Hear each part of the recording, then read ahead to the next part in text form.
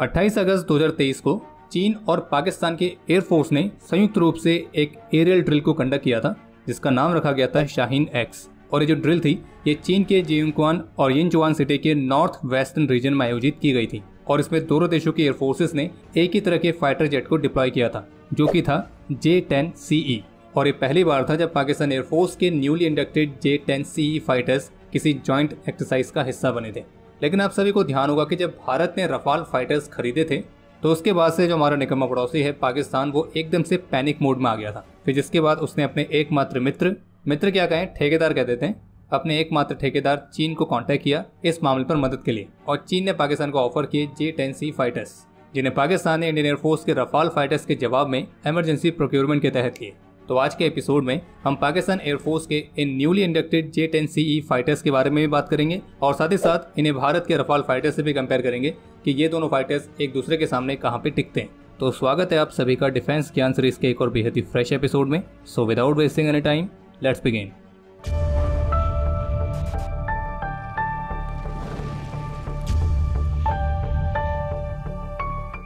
तो सबसे पहली बात जे टेन सी ई तो ये जे टेन फाइटर का एक्सपोर्ट वेरिएंट है। और इसमें जो ई लगा हुआ है, इसमें ई का मतलब भी एक्सपोर्ट है। और ये चीन के जे टेन ए फाइटर का तीसरा इम्प्रूव्ड वेरिएंट है। और इसके साथ एक बड़ा प्रश्न ये उठता है कि पाकिस्तान ने इसे खरीदा क्यों? तो देखिए, जो ये जे टेन सी फाइटर है, ये 4.5 जनरेशन की कैटेगरी में आता है। और ये चीन द्वारा बनाए गए और पाकिस्तान द्वारा पेंट किए गए टेंथ जनरेशन का स्पेसशिप यानी कि जे एफ़ सेवनटीन फाइटर की तुलना में कहीं ज़्यादा पावरफुल है। जब 2020 में पाँच रफाल फाइटर्स का पहला बैच भारत की ज़मीन पर लैंड हुआ था तो उस समय भले ही जो तेल है वो हमारे रफाल फाइटर्स में चल रहा था, लेकिन जलने की जो बदबू है वो कहीं और से आ रही थी। और जब ये रफाल फाइटर्स भारत पहुँचे तो ये अकेले तो आए नहीं थे, ये अपने साथ लाए थे मीट्योर और माइका जैसी एयर टू एयर मिसाइल्स और फिर इन फाइटर्स के साथ इंडियन एयरफोर्स की कैपेबिलिटीज को बढ़ता हुआ देखकर दुख, दर्द और पीड़ा की वजह से पाकिस्तान में डेस्परेट हो गया। कि उसे भी अब नए फाइटर्स चाहिए, जो कि भारत के रफाल फाइटर्स के सामने वो खड़े कर सके। तो फिर उसने चीन से 30 जे टेन सी फाइटर्स को खरीदने की योजना बनाई, जो कि इमरजेंसी प्रोक्योरमेंट के तहत लिए जाने थे। क्योंकि शायद पाकिस्तान के अथॉरिटीज को यह भी लगा होगा कि जब इंडियन एयरफोर्स के पायलट्स मिग ट्वेंटी जैसे एयरक्राफ्ट के साथ उनके एफ़ सिक्सटीन जैसे एडवांस फाइटर को गिरा सकते हैं तो फिर रफाल जैसे एडवांस फाइटर्स के साथ वो किस किस तरह के कारनामे कर सकते हैं, वो तो उनकी सोच के पर है। और फिर इसके बाद पाकिस्तान एयरफोर्स ने 11 मार्च 2022 को चीन से जे टेन सी फाइटर्स का पहला बैच प्राप्त किया, जिसमें छह फाइटर्स शामिल थे। अब चीन दावा तो भले ये करता है कि जो जे टेन सी फाइटर है, वो उनका स्वदेशी तौर पर बनाया गया फाइटर जेट है, लेकिन अगर आप इस एयरक्राफ्ट की डेवलपमेंट हिस्ट्री पर ध्यान देंगे तो आप इस बात को रियलाइज़ करेंगे कि चीन के इस जे टेन सी फाइटर में जो टैग लगा हुआ है तो वो असल में इसराइल और रशिया से लिया गया तो इसलिए बात करते हैं इस J ten C E fighter के डेवलपमेंट की। तो चीन के जो ये जे टेन सीरीज़ के फाइटर्स हैं तो इनके डिज़ाइन और कंस्ट्रक्शन का जो कार्यभार है वो चीन की चेंगडो एयरक्राफ्ट कॉरपोरेशन, यानी कि सी ने संभाला हुआ है। इस एयरक्राफ्ट का जो अर्ली डेवलपमेंट था, वो काफ़ी स्लो था, लेकिन आज के समय में जो ये जे टेन फाइटर्स हैं चीन के सबसे प्रसिद्ध होम ग्रोन फाइटर जेट्स में आते हैं। लेकिन ऐसी कई सारी रिपोर्ट्स भी हैं, जो इस बात की संभावना की तरफ़ पॉइंट आउट करती हैं कि इन जे टेन फाइटर के डेवलपमेंट वर्क के दौरान चाइना की सी और इसराइल एरोस्पेस इंडस्ट्रीज़ के बीच पॉसिबल पार्टनरशिप हुई है। और कई ऐसी रिपोर्ट्स भी देखी गई हैं, जिनमें यह दावा किए जाते हैं कि इसराइल ने अपने fourth generation fighter jet Lavi से संबंधित क्लासिफाइड इन्फॉर्मेशन चीन की सी के साथ शेयर करी थी। लवी इसराइल का एक multi role jet fighter programme था, जिसे 1980s के दौरान शुरू किया गया था और ये एक यूएस फंडेड प्रोग्राम था। और इसने 1986 में अपनी पहली उड़ान भरी थी और इसके केवल तीन ही प्रोटोटाइप्स बनाए गए थे। और यूएस द्वारा इस प्रोग्राम के लिए फंडिंग को सस्पेंड किए जाने के बाद से ये जो प्रोग्राम था, ये अपनी प्रोटोटाइप स्टेज से कभी आगे बढ़ ही नहीं पाया। लेकिन जो चीन है, वो किसी तरह से इस लवी प्रोग्राम के ब्लू को हासिल करने में कामयाब रहा। और इस लवी फाइटर जेट को लेकर यह भी कहा गया कि ये यूएस की इनोवेशन पर काफ़ी ज़्यादा आधारित था, जिसमें लॉकेट मार्टिन के एफ़ सिक्सटीन फाइटर के भी कुछ टैग शामिल हैं। और उसी वजह से चीन के इस जे टेन फाइटर की कुछ टेक्नोलॉजी की जड़ें यूएस से जुड़ी हुई हैं। और इन टेक्नोलॉजीज़ में खास तौर पर है एवियोनिक्स एडवांस कंपोजिट मटेरियल्स और फ़्लाइट कंट्रोल स्पेसिफिकेशंस और इसराइल के डिज़ाइन का जो इन्फ्लुएंस है, वो आपको जे टेन के close coupled canard delta configuration में भी देखने को मिलेगा। और इसके अलावा जे टेन का last size wing platform canard और विंग के बीच का डिस्टेंस तो ऐसे कई सारे ऑब्वियस डिफरेंस हैं, लवी और जेटन के बीच में। हालाँकि चीन लवी प्रोग्राम के डिज़ाइन को तो हासिल करने में कामयाब रहा, लेकिन वो लवी में इस्तेमाल होने वाले light weight Pratt and Whitney के P W one one two zero turbofan engine को इस्तेमाल नहीं कर सका, और इसमें बड़े पैमाने पर लाइट वेट कम्पोजिट मटेरियल्स को प्रोड्यूस करने की कैपेसिटी की भी कमी थी। जिसके परिणाम स्वरूप चीन को अपने जे टेन फाइटर्स के लिए रशिया के A L thirty one F turbofan engine के साथ जाना पड़ा और इन इंजन को इस फाइटर में फिट करने के लिए जे टेन के फ्यूजलाज को दो मीटर तक एक्सटेंड भी करना पड़ा। और बाकी एरोडायनेमिक डिज़ाइन के अलावा जे टेन की जो type 1473 pulse Doppler fire control radar है तो वो भी इसराइल की E L M two zero three five Doppler radar पर आधारित है। और कुछ रिपोर्ट्स दावा करते हैं कि चीन की इस टाइप 1473 रेडार की जो डिटेक्शन रेंज है, वो करीब 100 से 120 किलोमीटर के आसपास है। लेकिन एक चाइनीज़ एरोस्पेस ऑब्जर्वर और ऑथर एंड्रियस रुपेट द्वारा लिखी गई एक किताब, जिसका नाम है modern Chinese war planes Chinese air force aircraft and units तो इस किताब के मुताबिक चीन ने अब जो अपने जे टेन में अपने स्वदेशी डब्ल्यू एस टेन सीरीज़ के इंजन को इस्तेमाल किया है तो उन इंजन में ऐसे कई सारे इश्यूज़ हैं, जिसकी वजह से चीन का ये पूरा जे टेन वाला प्रोग्राम ही रुकने वाला था।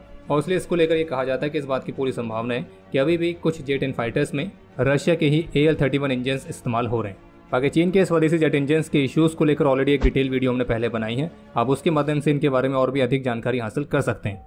और अब बात करते हैं कि जे टेन सी और रफाल फाइटर्स ये एक दूसरे के सामने कहाँ पे टिकते हैं। हालाँकि टेक्निकली देखा जाए तो इन दोनों फाइटर्स के बीच कंपैरिजन नहीं बनता है, लेकिन इन्हें कंपेयर इसलिए किया जा रहा है क्योंकि पाकिस्तान ने ये जे टेन सी फाइटर्स खास तौर पर भारत के रफाल फाइटर्स के कॉम्पिटिटर के तौर पर लिए थे। तो इसी वजह से इनको एक तरह से कंपेरिजन में देखा जा रहा है। तो ये दोनों ही 4.5 जनरेशन के फाइटर्स हैं। लेकिन जो जे टेन सी है, वो सिंगल इंजन फाइटर है, जबकि Rafale twin engine J ten को भी वर्तमान समय में केवल दो देश ऑपरेट कर रहे हैं, एक चीन और दूसरा पाकिस्तान। वहीं रफाल फाइटर को भी वर्तमान समय में करीब आठ देशों के द्वारा ऑपरेट किया जा रहा है। इस जे टेन सी फाइटर ने पाकिस्तान और चीन वाली एक्सरसाइज के अलावा अभी तक किसी और ज्वाइंट एक्सरसाइज या किसी रियल बैटल कंडीशन को एक्सपीरियंस नहीं किया है, जबकि रफाल फाइटर्स के पास एक अच्छा खासा कॉम्बेट एक्सपीरियंस है। कि चाहे वो माली का हो अफ़गानिस्तान का हो लीबिया का हो इराक का हो या सीरिया का। जब पाकिस्तान ने इन जे टेन सी फाइटर्स को लिया था, तब पाकिस्तान के ही एक prominent senator doctor Afnan Ullah Khan का भी यही कहना था कि उन्हें पाकिस्तान द्वारा जे टेन सी फाइटर को खरीदने के पीछे का लॉजिक समझ में नहीं आता है। क्योंकि पाकिस्तान के पास ऑलरेडी एफ़ सिक्सटीन फाइटर है, जो किसी सिमिलर क्लास को सिमिलर जनरेशन का फाइटर है, और उन्हें नहीं लगता है कि जो जे टेन सी फाइटर है वो रफाल के जैसा बेहतरीन है। जबकि उनका ये कहना था कि पाकिस्तान को अपने प्रोजेक्ट आज़म पर इन्वेस्ट करना चाहिए और अपने एग्जिस्टिंग जे एफ़ सेवनटीन की कैपेबिलिटीज को बढ़ाना चाहिए। बाकी अगर आप इन दोनों फाइटर्स के बीच के टेक्निकल पैरामीटर्स भी लेते हैं तो ऐसे मामले पर भी रफाल फाइटर कई सारे पैरामीटर्स में जे टेंसी से आ गई है। जैसे कि फ्यूल और वेपन के सेम वेट के साथ, रफाल का जो थ्रस्ट टू वेट रेशियो है, वो जे टेन सी ज़्यादा है, क्योंकि रफाल की जो इंजन है, वो जे टेन सी के मुकाबले 20 प्रतिशत ज़्यादा थ्रस्ट जनरेट कर सकते हैं, जिस वजह से within visual range combat के लिए रफाल को जे टेन सी की तुलना में ज़्यादा पावर और ज़्यादा बेहतरीन एजिलिटी मिलती है।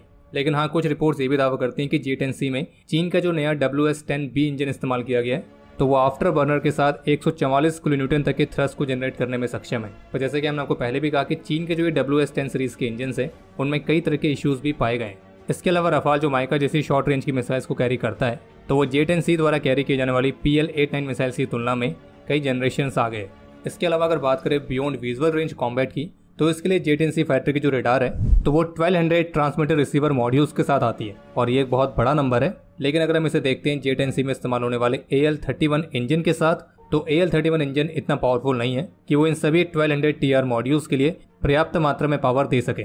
तो इसी वजह से ये जो रडार है, ये अपनी लोअर कैपेबिलिटी में ऑपरेट होती है।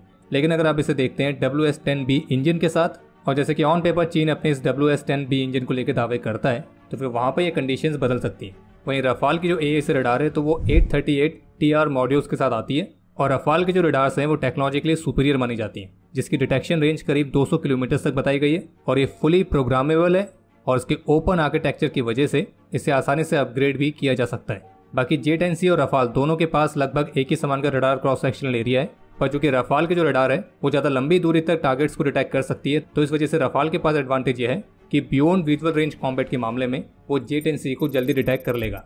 इसके अलावा J ten C P L twelve और पी एल फिफ्टीन जैसी बियॉन्ड विजुअल रेंज मिसाइल्स को भी इस्तेमाल करता है। जिसमें से पी एल ट्वेल्व की मारक क्षमता है सौ किलोमीटर, जबकि पी एल फिफ्टीन की है 200 से 300 किलोमीटर यानी कि कमाल की। लेकिन ये मिसाइल्स भी तभी काम की है, जब आप टारगेट को लंबी दूरी से डिटेक्ट कर पाएँ। और इसी वजह से जे टेन सी की जो रडार कैपेबिलिटी की लिमिटेशंस है तो उस वजह से जे टेन सी में इस्तेमाल होने वाली इतनी एडवांस मिसाइल्स अपनी फुल पोटेंशियल में इस्तेमाल नहीं हो सकती हैं। वैसे आपको बता दें कि जो जे एफ़ सेवनटीन है, वो भी पी एल फिफ्टीन मिसाइल का इस्तेमाल करता है, लेकिन उसकी रेंज 145 किलोमीटर तक है। और इस बात का भी फ़िलहाल अभी कंफर्मेशन नहीं है कि जो जे टेन सी फाइटर्स उनके साथ जो पी एल फिफ्टीन मिसाइल है तो वो कौन सी रेंज वाली है। और अगर बात करें रफाल की तो रफाल के पास है मीटियोर जैसी beyond visual range air to air missile जिसकी मैक्सिमम रेंज है 200 किलोमीटर और ये एक ऐसी मिसाइल है जिसकी गिनती दुनिया की सबसे best air to air missiles में होती है। और इसमें नेक्स्ट जनरेशन टेक्नोलॉजी का इस्तेमाल किया गया है। और मीटियोर मिसाइल की एक खास बात जो कि इसे पी एल फिफ्टीन से बहुत अलग बनाती है, वो ये कि ये मिसाइल अपनी पूरी फ़्लाइट रेंज के दौरान एक सेम काइनेटिक एनर्जी को मेंटेन करने में सक्षम है। और मीटियोर मिसाइल की कैपेबिलिटी का अंदाज़ा भी इस बात से भी लगा सकते हैं कि इसे एफ़ थर्टी तक में इंटीग्रेट किया जाने वाला है। और ये मीटियोर ही है जो कि रफाल फाइटर्स को कई मायनों में बढ़त देती है। बाकी अगर बात करें इलेक्ट्रॉनिक वॉरफेयर कैपेबिलिटीज़ की तो जेट के इलेक्ट्रॉनिक वॉफियर सूट के बारे में अधिक जानकारी उपलब्ध नहीं है और उसका बड़ा कारण यह है कि जेट की जो इलेक्ट्रॉनिक वॉफियर सूट कैपेबिलिटी है, वो बात करने लायक है भी नहीं, जबकि रफाल में स्पेक्ट्रा जैसा EW सूट लगा हुआ है और ये इलेक्ट्रॉनिक वॉरफेयर सूट ही है जो रफाल फाइटर्स की कीमत को कहीं ज़्यादा बढ़ा देता है और इसे इंडियन कंडीशन में पाए जाने वाले थ्रेड्स को ध्यान में रखते हुए अपडेट भी किया गया बाकी रही बात अवेलेबिलिटी रेशियो के बारे में तो जेट का जो अवेलेबिलिटी रेशियो है, उसके बारे में फ़िलहाल अभी कोई जानकारी उपलब्ध नहीं है, लेकिन जो रफाल फाइटर है, उसका अवेलेबिलिटी रेशियो सेवेंटी परसेंट है और जो कि काफ़ी कमाल का है। बाकी अगर इसके ओवरऑल कंक्लूजन पर जाया जाए, लेकिन उससे पहले अगर आप यहाँ तक वीडियो देख ही चुके हैं तो कृपया करके वीडियो को लाइक ज़रूर कर दें। और अगर आपने अभी तक डिफेंस कॉड की मोबाइल एप्लीकेशन को डाउनलोड नहीं किया है तो आज ही डाउनलोड करें और एक्सपीरियंस करें डिफेंस सेक्टर को अलग अलग तरीकों से। और वापस आते हैं वीडियो के मेन टॉपिक पर।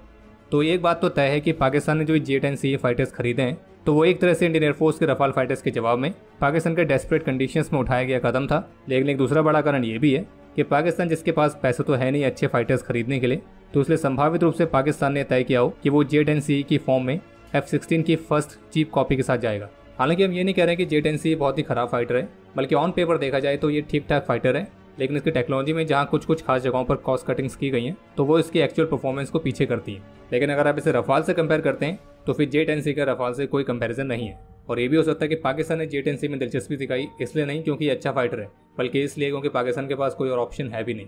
बाकी चाइनीज़ कंपनी सीएसी ने जे एफ़ और जे दोनों को लगभग एक ही साथ विकसित किया है। पर जैसे कि हम देख ही रहे कि जे एफ़ के साथ किस तरह के मेंटेनेंस इश्यूज़ रहते हैं तो इस बात की भी संभावना है कि शायद भविष्य में यही मेंटेनेंस इश्यूज़ इस जे टेन सी के साथ भी देखने को मिले। और बाकी इसी नोट के साथ हम इस वीडियो को एंड करते हैं। उम्मीद आपको एपिसोड पसंद आया होगा। अगर पसंद आए तो वीडियो को लाइक करें शेयर करें। कोई भी सुझाव या सवाल हो तो उसके लिए कमेंट सेक्शन ओपन है। और अगर आपने अभी तक चैनल को सब्सक्राइब नहीं किया है तो आज ही सब्सक्राइब करें। और हम जल्दी मिलेंगे नए एपिसोड के साथ। तब तक के लिए जय हिंद, जय भारत।